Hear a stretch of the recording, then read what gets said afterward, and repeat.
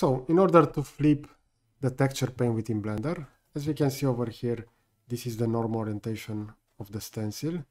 If I want to flip it on the x-axis, all I have to do is over here on the sides, add a minus 1 for the x, and afterwards we're going to have that stencil mirrored.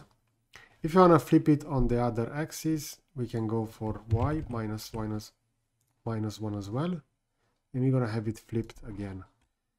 Then if I want to go back to the normal default one, that will be 111, which will be the initial stencil, which will have the orientation from the, from the PNG file used.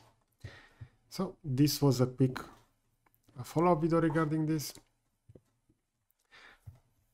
I highly encourage you to check uh, my original video, so Blender texture paint with stencils, in order to see how to create um, the texture, how you can add that stencil, and also how you can do the, um, the shading and the mapping for the object. So I will position a similar video over here to the left. I will add the playlist for Blender on the top and I will add a subscribe button to the right. So thanks for watching.